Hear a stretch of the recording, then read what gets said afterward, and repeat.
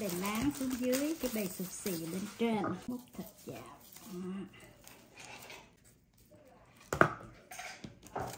Gà cớp lại rồi cái chỉnh sửa cho nó vuông vuông. Dạ Linh xin chào cả nhà. Chào mừng cả nhà đã trở lại kênh LG Kitchen Cuộc Sống ở Mỹ. Hôm nay Linh sẽ gói món cá chai. Để mình à, ăn chay ngày rằm tháng 7 nha. À, Cá chai này á, là Linh sẽ làm hai loại. Một loại cá chai à, thường và một loại cá chai à, xả ớt. Thành phần nguyên liệu á, thì Linh gồm có đầu tiên á, là tàu hũ trắng. Tàu hũ trắng Linh mua Costco cái hộp này nè. Linh sử dụng hết luôn nguyên một hộp. Một hộp trong này thì nó có bốn cái hộp nhỏ. Sau đó Linh à, cắt ra nhỏ nhỏ. Linh nấu với nước muối một chút xíu rồi Linh vớt ra. Bây giờ Linh vừa nấu với nước muối xong là Linh tắt rồi Linh vớt nó ra tàu hũ nè Linh vừa vớt ra nè.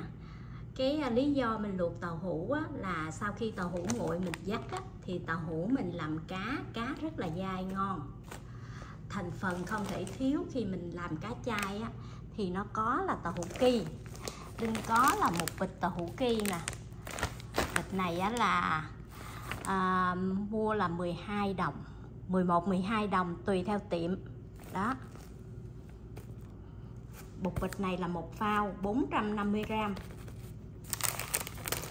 Hai cái à, gói rong đen cái à, gói này là để mà mình gói à, sushi mình ăn đó. Rồi có hai cái gói này. Rồi linh có củ hành tím. Củ hành tím này to linh chỉ xài một củ hành to với ở nhà ở phía sau nhà linh có trồng mấy cái củ hành nhỏ là linh lấy luôn ở nhà nếu mà không ăn được củ hành á, thì mình thay thế củ hành nó bằng hành boro nha. Rồi linh sẽ làm tại vì cá chai này linh làm hai loại một loại cá chai thường với một loại cá chai à, muối xả ớt. Thành ra linh cần có một um, một miếng xả băm luôn. Xả này ở nhà linh linh lúc nào cũng có xả băm linh đuổi à, trong tủ đá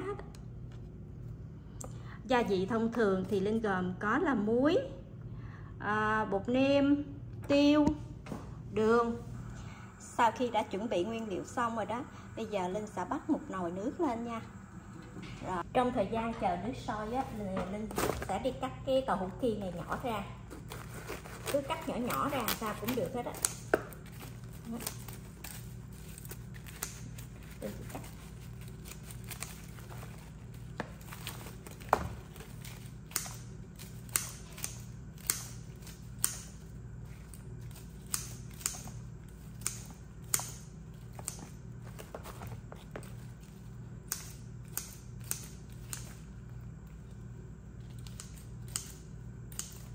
Tàu hũ kia linh vừa sắc xong nè.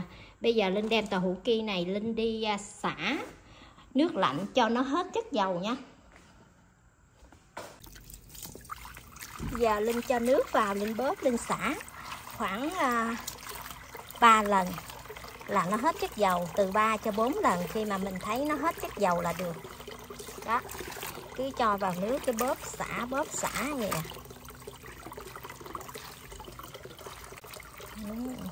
để lên lấy cái rổ lên coi cả nhà, coi nước bây giờ nước bây giờ tươi hoặc chất dầu không đó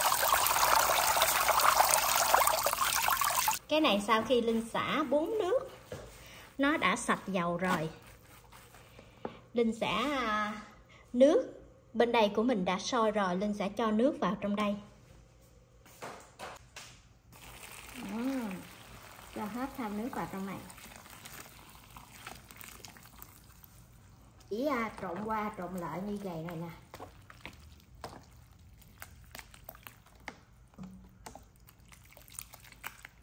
Mình đem ra liền nha. Để lâu quá tàu hũ kia mình nó mềm.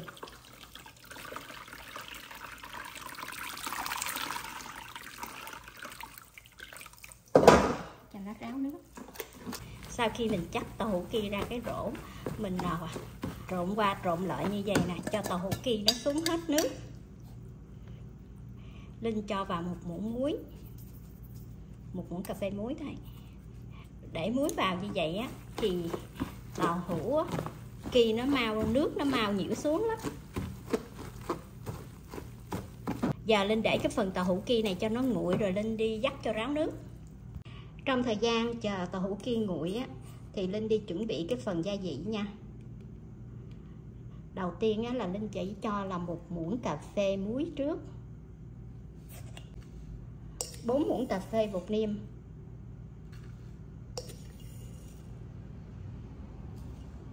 Muỗng cà phê đường.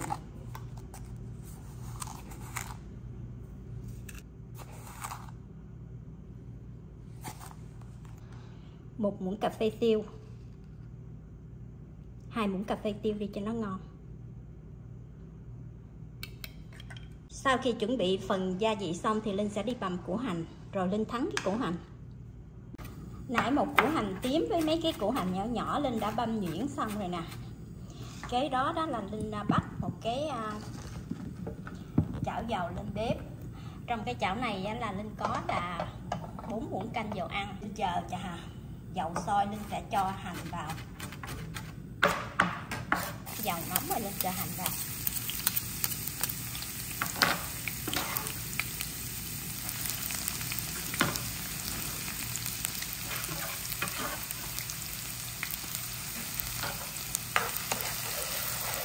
hành mình cho vào nó thơm thôi, chứ mình không có cần nó nó vàng.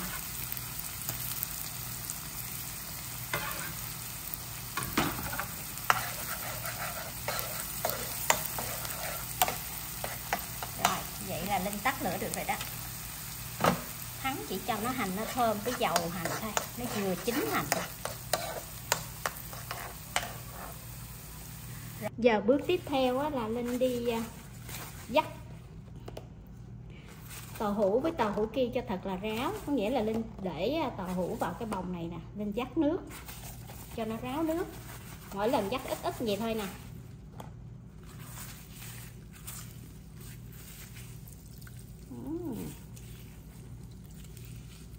Mỗi lần dắt ít vậy đó, cho nó ráo nước.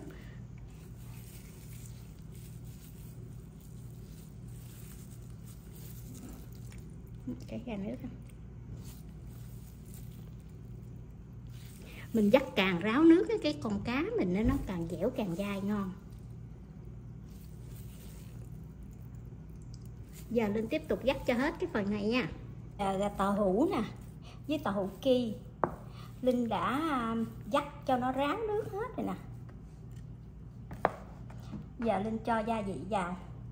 Linh cho cái phần à, muối tiêu đường vô trước thôi nha bột niêm.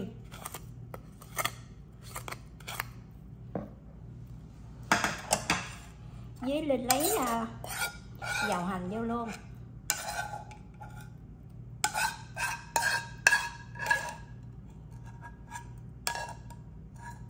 Mình gạt hết dầu hành mình chỉ chừa lại một chút dầu thôi để một chút nữa cái mình là cháy à, một miếng à, miếng xả để mình làm mà cá à, muối xả ớt. Tay linh đã rửa sạch sẽ rồi, bây giờ linh chỉ nhồi cho nó đều thôi. Nhồi càng lâu á cá mình nó nó càng dẻo dai ngon.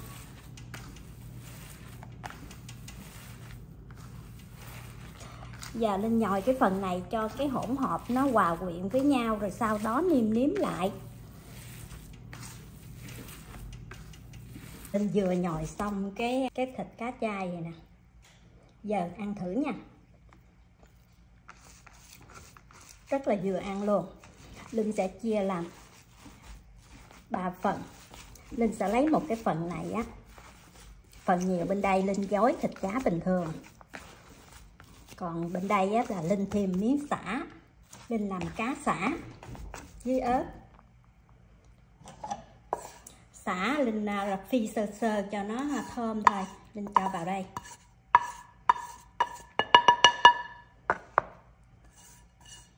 Cho vào một chút bột ớt, cho nó có màu.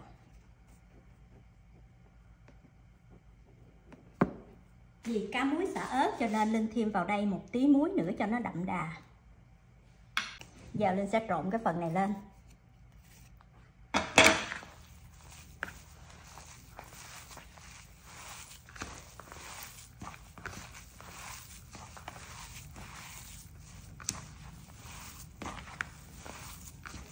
thơm quá, thơm xả quá.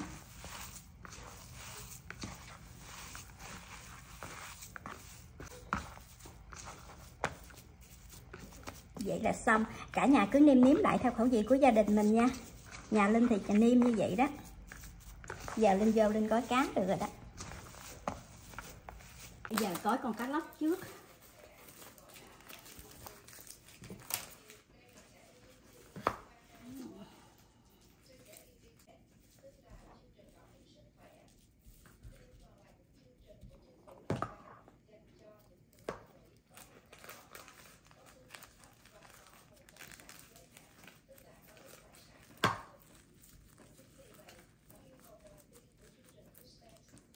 Cá lóc này ốm.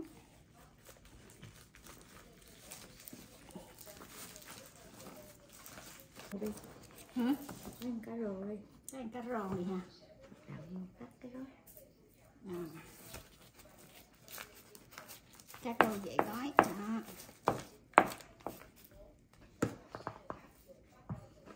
Cá bự nhỏ tùy theo mình thích thôi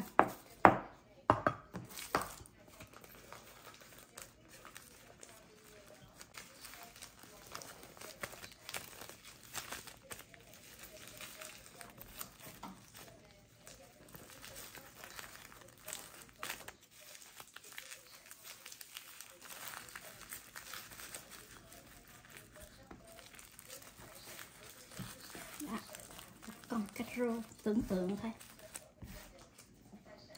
Giờ linh tiếp tục gói cho hết cái phần này. Cá sau khi gói xong á cái linh quấn cái bọc ni lông ở ngoài. Gì nè. Đó. Giờ linh đem đi hấp. Linh hấp 45 phút nha. Tính từ khi nước sôi rồi đó cái mình để cá vào mình hấp 45 phút. Cá chai á, sau khi linh hấp 45 phút xong cái linh đem ra. Linh chờ cho nguội cái linh để vào tủ mát cái dĩa này á, là à, có phần nửa thôi. Còn phần nửa cá đó là linh đã cho em của linh rồi. À, tại vì tháng này á, em linh ăn chay. Đó linh lấy phần nửa linh cho chừa lại ở nhà phần nửa. Cái khúc này á linh cái đòn này linh cắt ra làm hai nè. Thấy ở trong này nó có dân không? Là linh gói á, còn hai cái cuốn cuối cùng á nó dư hai cái à, hai cái miếng à, rong biển cái linh cắt vào linh trộn luôn. Đó. Nè cái mặt nó mịn trơn cái thịt nó mịn trơn à. Đó con cá rô này nè. Cá này á, là con cá linh làm xả nó có mặn sẵn rồi. Chỉ chiên vàng hai mặt sau đó mình ăn thôi. Ăn với cơm trắng. Hoặc là con cá này á là con cá trắng thường. Thì à, linh đem chiên ra hai mặt. Kế đó thì linh làm nước tương gừng linh ăn còn cá cá lóc này á thì linh sẽ cắt cái khoanh mỏng mỏng vậy nè. Đó cái linh chiên vàng hai mặt.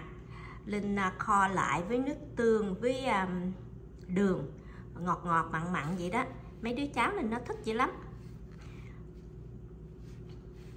Còn nếu mà cả nhà đó không có thích ăn dầu mỡ á, thì mình có thể là mình cắt ra như vậy là mình ăn được rồi nè.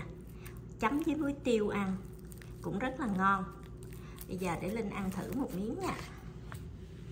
Linh thì cắt khúc đấy ơi hồi nãy không có đem cái cây xuống một cây cầm một cái cây cắt. Đó giờ linh cắt cái khúc ra. Ừ, rất là dễ dặt luôn là thấy không? Đậu hũ mà dưới mà tàu hũ kia đó mình dắt ráo nước đó, là cái mặt nó rất là dễ dặt cứng thấy không? Giòn. Vừa ăn